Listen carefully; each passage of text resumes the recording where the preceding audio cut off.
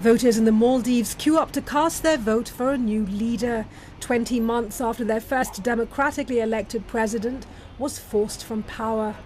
Mohamed Nasheed, seen here casting his vote in the city's centre, was ousted in February 2012 in what his supporters say was a coup.